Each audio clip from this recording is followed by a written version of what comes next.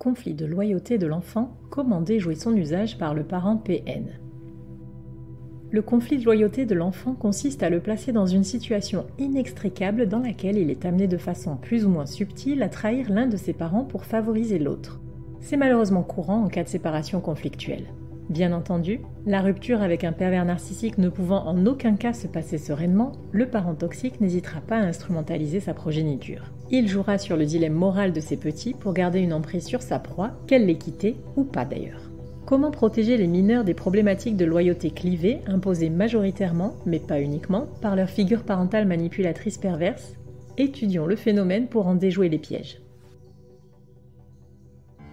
Cette réflexion est tirée d'un article du site internet www.pervers-narcissique.com dirigé par Pascal Cauder, psychanalyste et psychologue clinicien, co-auteur de l'ouvrage de référence La manipulation affective dans le couple, faire face à un pervers narcissique. Depuis plus de 30 ans, Pascal Couder et son équipe de thérapeutes spécialistes des questions autour de la manipulation sentimentale prennent en charge les victimes de PN francophones partout dans le monde grâce à la vidéoconsultation.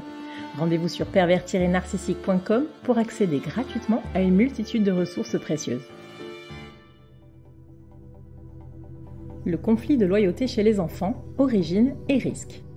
En cas de mésentente notoire de parents séparés, l'enfant ou l'adolescent qui est témoin et parfois partie prenante des disputes et autres violences est tiraillé.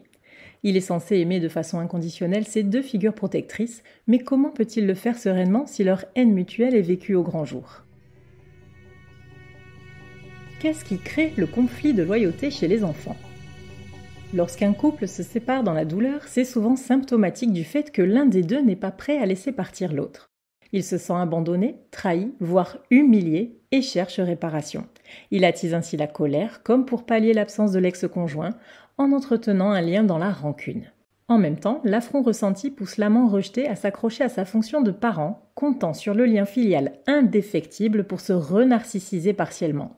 L'héritier du couple porte alors la lourde responsabilité de maintenir en vie ce qui n'est plus, comme s'il en était le dernier vestige. Il permet également aux parents en souffrance psychologique d'être rassurés sur l'inconnu de ce remaniement familial. Les rôles parentaux s'inversent ainsi dans un rapport vertical où c'est l'enfant qui est chargé d'endosser un rôle protecteur auprès de son ascendant, ce qui est un fardeau bien trop encombrant pour lui. Quels sont les dangers des loyautés clivées sur la psyché de l'enfant? Le modèle que les grands donnent à voir est déterminant pour la construction de la personnalité des petits. Le conflit des adultes se transpose en un dilemme interne chez l'individu immature, susceptible de provoquer de nombreux troubles psychiques à plus ou moins longue échéance. Et lorsque les fratries présentent des disparités d'attitude, le problème peut se complexifier encore davantage. Là où les adolescents ou les mineurs plus matures auront parfois le réflexe salutaire de fuir les griefs entre leurs parents, d'autres s'en sortiront tant bien que mal en naviguant entre un adulte et l'autre. Ils épouseront tantôt la cause du père, puis celle de la mère, afin de se préserver de toute pression. Cette alternance entre comportement loyal et déloyal nuira à leur propre cohésion. En quelque sorte, l'autorisation de trahir en fil rouge de leur éducation pourra ouvrir la porte à de futures transgressions à la loi qui se manifesteront de diverses manières banditisme, toxicomanie, prise de risque, etc. Mais plus l'enfant est jeune et fragile, plus il aura tendance à intérioriser le déchirement entre ses parents. C'est là que le conflit de loyauté prendra ses racines. Souvent, ces petits deviennent hyper matures et renoncent à leurs propres désirs mais il arrive aussi fréquemment qu'ils traversent une période de régression, avec énurésie ou comportement de bébé par exemple, comme s'ils voulaient rétablir la situation antérieure. Dans tous les cas, les divers symptômes qui découlent du conflit de loyauté manifestent un terrain propice à la dépression dans un futur plus ou moins proche. L'intervention d'un thérapeute pourra alors s'avérer indispensable. Quelle attitude parentale adopter face à un PN pour éviter le combat moral intérieur de l'enfant? Chez le PN, la démarche de réhabilitation de l'ego post-rupture par le biais des enfants s'accompagne d'une volonté de continuer à faire souffrir l'autre parent. Faisant d'une pierre deux coups, le manipulateur sadique utilise ses petits comme moyen de punir et tourmenter indéfiniment l'ex-partenaire, indifférent au fait que sa progéniture en pâtira aussi largement. Préserver les enfants des tirs croisés entre parents. Faire payer. À l'ex-conjoint son départ surtout chez le PN, passe par le chantage ou les coups bas intempestifs comme les retards de paiement de pension alimentaire, l'argent étant l'un de ses meilleurs moyens de soumission, la rétention de papier d'identité des enfants, la non-communication de données importantes, etc. Malheureusement, l'enfant est souvent le messager ou du moins un récepteur d'informations qui ne devrait regarder que les adultes. Ainsi, l'un des pièges qu'il faut savoir déjouer pour éviter le conflit de loyauté, c'est de demander à son fils ou à sa fille de rappeler au papa ou à la maman de rapporter le chèque, le vêtement, le passeport ou le carnet de santé. C'est une erreur. Cela place l'enfant dans une situation stressante et l'expose à une réponse agacée du destinataire du message, qu'elle soit verbale ou non, dont il se sentira fatalement coupable.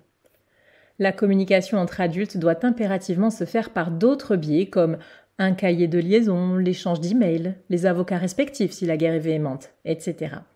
Si l'ex-conjoint PN fait tout son possible pour créer ces situations de discorde, il ne faut pas céder à chaud aux provocations, quitte à pratiquer le non-contact.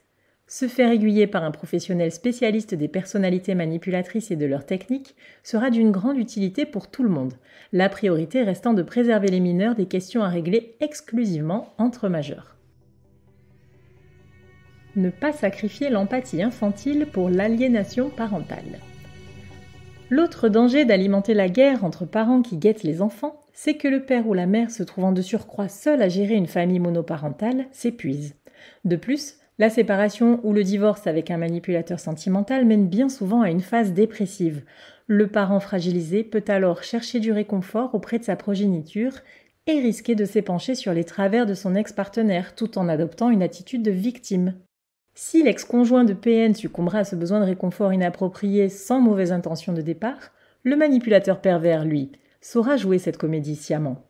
Ainsi, l'enfant aura un réflexe protecteur envers son parent en difficulté et pourra montrer, par fidélité, de l'animosité envers l'autre représentant de l'autorité parentale, désigné responsable de cette situation.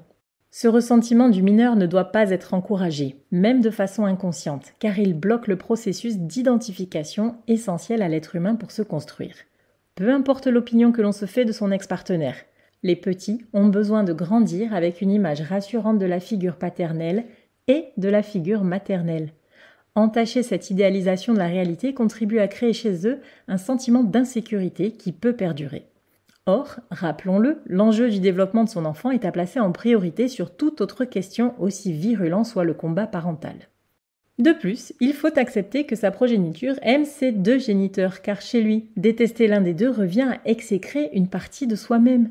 Renier à son enfant le droit d'avoir une opinion différente de la sienne, c'est rejeter son altérité, ce qui peut, dans les cas extrêmes, aller plus loin que le conflit de loyauté et causer le syndrome d'aliénation parentale. Pour trouver la meilleure façon d'éviter le conflit de loyauté chez l'enfant, gardons en tête que l'une des pires questions à poser à son fils ou à sa fille, c'est tu préfères vivre chez papa ou chez maman?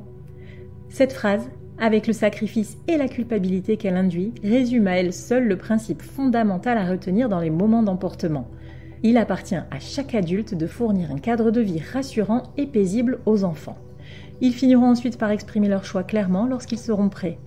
Pour les accompagner au mieux à travers les tourments des ruptures conflictuelles, il faut veiller à ne pas devenir soi-même un parent toxique surtout lorsque l'ex-conjoint est un pervers narcissique. Votre enfant compte sur vous. N'hésitez pas à vous faire accompagner par des thérapeutes spécialistes des questions de la perversité narcissique. Rendez-vous sur www.pervers-narcissique.com et trouvez-y de nombreux conseils sur comment gérer la séparation, comment gérer l'après, la reconstruction et vous pourrez également rentrer en contact avec un membre de l'équipe.